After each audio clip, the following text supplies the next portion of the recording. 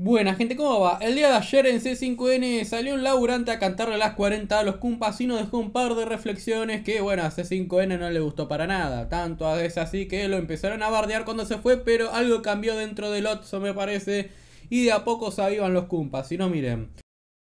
Está duro, pero bueno, entendemos la situación que el gobierno nuevo recibe el país, que es devastadora y, y es lo que corresponde. O sea, se terminó la fiesta, digamos, y ahora hay que pagarla.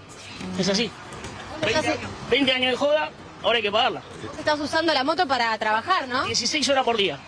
Yo soy un argentino de bien. 16 horas por día. Ahí está. ¿Te rinde entró, ¿eh? el dinero? Y tengo que trabajar 16 horas, si no, no me rinde. Por eso, hay alguien que nos tiene que devolver la dignidad al pueblo argentino, al pueblo trabajador. Tenemos la esperanza que sea mi ley. ¿En qué te aferras? ¿En qué te aferras para tener esa esperanza? Los kirchneristas nos destrozaron. Y yo no soy militante, yo soy un laburante.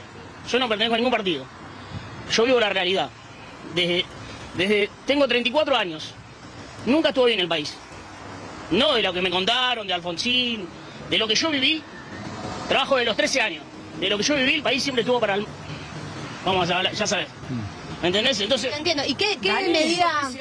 ¿Tu nombre cómo es? Eduardo. Eduardo, ¿qué medida te da eh, esperanza en lo que vos decís? ¿Qué medida del gobierno decís eh, esto me parece bien? sacarle el curro a todos los políticos, sacarle el curro a todos los dirigentes eh, que, que juegan con la gente, que dicen eh, obrar bien por la gente pobre, cuando en realidad lo que están haciendo es teniendo un curro como este Beliboni, que es un chanta, como Grabois, como toda esa gente, digamos, que defiende. Para los laburantes Dani, como ¿nos vos. escuchás? Y la gente como, la gente como yo labura. Porque vos hablaste de la fiesta de todos los argentinos. Y por ahí si hablamos del caso particular Sí. de, de tu abuelo, de mío, de un vecino, Sí, sí, sí. se vuelve más difícil. Por eso te, te repito, ¿cuál Sí, sí, pensás sí. vos que es la fiesta? No, la fiesta, con lo que me refiero a la fiesta es... Y que ahora ¿sabes tenemos lo que me pagar. refiero a la fiesta? Es que...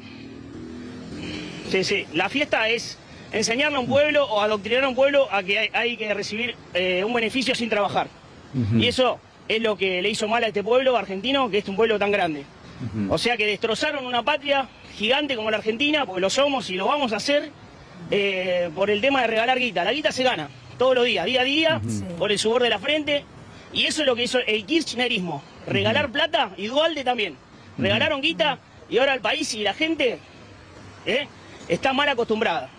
No, lo- no así los laburantes de siempre, ¿no? Porque nosotros sabemos muy bien cómo se gana la plata y cómo se consiguen los logros. Eh, Eduardo, pero Eduardo, ¿para vos está bien lo que está haciendo el Eh, gobierno ahora? Regalaron 2 billones de pesos, emitieron Ah. plata a lo loco y ahora estamos pagando los platos rotos. Pero para vos está y ahora bien. va a defender a los universitarios, es un chanta. La gente sabe quién es Massa, sabe Eduardo, quién es ¿te Cristina, puedo preguntar sabe quién es algo? Grabois, sabe quién es Pablo No. Moyano. ¿Qué No carajo hacía Pablo Moyano en la universidad ayer? Bueno, Si ese No, es un está hijo de bien, Eduardo. vive en un bien. castillo. No queremos Bueno, que honesto. tarde. Igual yo te preguntaba por... trabajadores Moyano, que es un garca porque si no- número uno. Edu- Eduardo, Edu, escúchame, no. Yo te preguntaba por los incrementos Sí, del bueno, te hablo de la casta, este te hablo de gobierno. Lustó. Vos te fuiste a Te hablo de. Lustó, que se aumentó y estaba... Lustó, No, Yo quería preguntarte Lustó, por, por los aumentó, estudiantes y por los jubilados.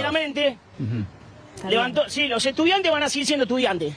Y también le quiero decir algo a los Bueno, docentes. si no hay universidad, no, que se ¿no? dejen de arrancar las pelotas y empiecen a enseñar, que empiecen a enseñar como tienen que enseñar y que dejen de faltar. ¿Y por qué lo enseña? Que dejen de faltar al colegio y empiecen a laburar como tienen que Pero, laburar. Eduardo, que no- no- todos los argentinos no nos ellos respondiendo tienen tres meses de vacaciones y no les están Claro. enseñando a los alumnos. Eduardo, Para, Cada para uno de lo subsistir, suyo, para ¿eh? subsistir. En otro una sola cosita, porque si no queda como que acá hay una instalación de un odio. Este muchacho odia a lo que fue el pasado. Y él tiene treinta y pico, y la verdad que ninguno de nosotros vivió una fiesta. Nadie vivió una fiesta. Siempre nos costó. Y en el medio se salteó un gobierno de cuatro años que tuvo Mauricio Macri, porque dijo 20, y era el kirchnerismo y el peronismo. Y hoy gobierna un presidente que es el jefe del Estado, es de la casta, porque la política es inherente al Estado. Si no sos político, te tenés que ir, no podés gobernar.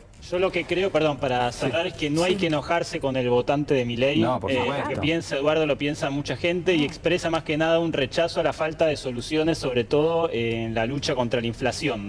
Bueno, cine como corresponde siempre en C5N. Por lo menos al final alguien puso un poco de sentido común, ¿no? Pero bueno, el otro tema es el odiador, ¿no? Tienen que empezar a replantearse muchas cosas de campaña. Una de ellas es que en todo caso odian por gente como ese periodista, gente como Massa, gente como Dugan, gente como la jefa y todo eso, ¿no?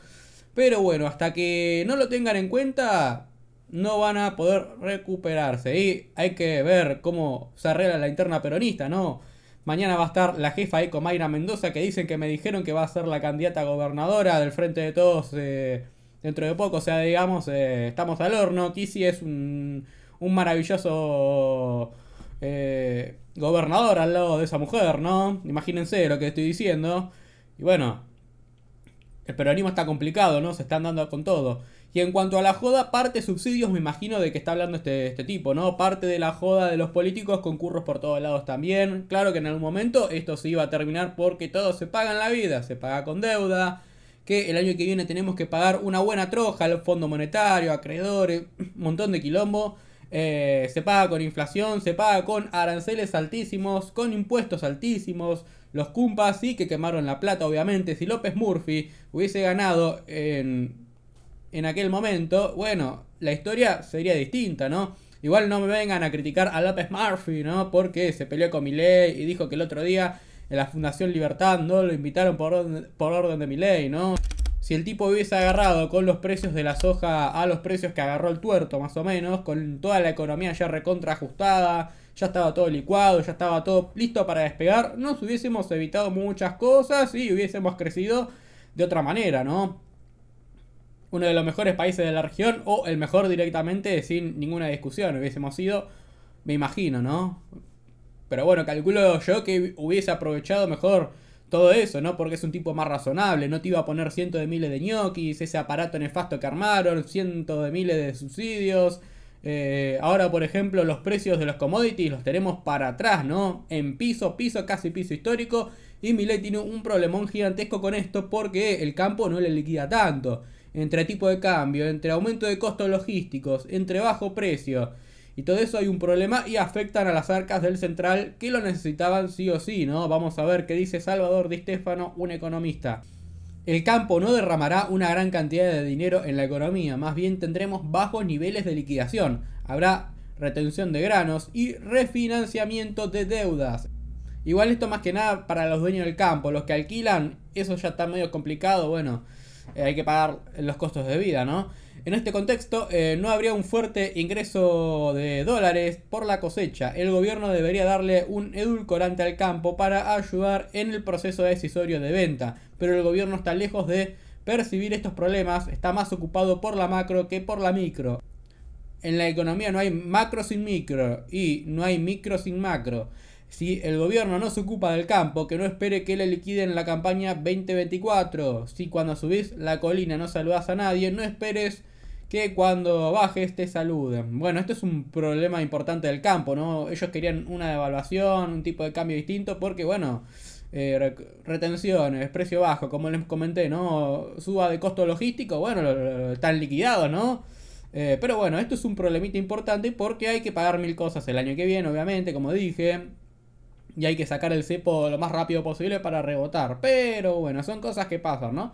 Los commodities son siempre y en todo lugar un fenómeno peronista, eso ténganlo en cuenta, ¿no? Porque ustedes ven ahí los gráficos, bueno, siempre el peronismo se benefició de los precios altos, ¿no?